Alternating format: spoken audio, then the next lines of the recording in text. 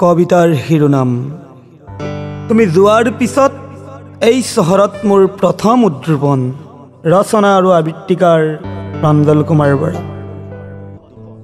চৈধ্যটা বসন্ত পাৰ কৰিলোঁ তোমাৰ এই চহৰত।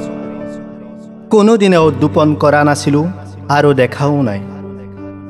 এতিয়া গুৰুৰ আশীৰ্বাদত উদ্দোপনৰ সাৰমৰ্ম বুজি হাতে কামে লাগিলোঁ। এই চহৰৰ হালধীয়া সোণাৰুৰ প্ৰেমত পৰিলোঁ। নতুন পদ্ধতিত গছ ৰুবলৈ শিকিলোঁ। স্মৃতিবোৰ জীপাল কৰি ৰাখিবলৈ চেষ্টা কৰিলোঁ।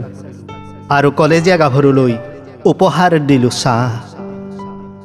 তুমি যোৱা পিছতেই তেজপুৰ চহৰখন খালী ঠাই হ'ল। তোমাৰ হাঁহিটো হালধীয়া সোণাৰুৰ পাহিতে থাকি গ'ল। মই এই চহৰৰ অলিয়ে গলিয়ে সোণাৰুৰ গুটি বিচাৰিলোঁ। গৰুৰ পামঘৰত গৈ সোণাৰুৰ পুলিবোৰ প্ৰাণ ভৰি চালোঁ।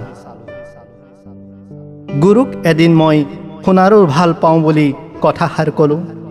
মৰমতে এটি সোণাৰুৰ পুলি উপহাৰ দি আহি থাকিবা বুলি ক'লে।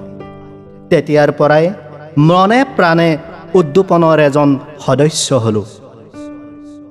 গছজোপাৰ হালধীয়া ফুলবোৰ যেন চহৰখনত ৰংহে বোলাইছিল। তেতিয়া এজন প্ৰেমিকে হালধীয়া পাহিবোৰ চাই চাই ক্লাছৰুমৰ পৰা পলাই অহাৰ প্ৰেমিকাৰ মৰমৰ হাঁহিটোৰ অপেক্ষাত তাকে দেখি এজাক কলেজীয়া গাভৰুৰ হাঁহিত সোণাৰুৰ পাত সৰিছিল। তোমাক নেদেখা হ'লেই নেদেখিলোহেঁতেন এই চহৰখন নীলা আকাশখন আৰু চৈধ্যটা বসন্তৰ পিছত নতুনকৈ প্ৰেমত নপৰিলোহেঁতেন সোণাৰুৰ ফুলৰ উদ্দোপনৰ।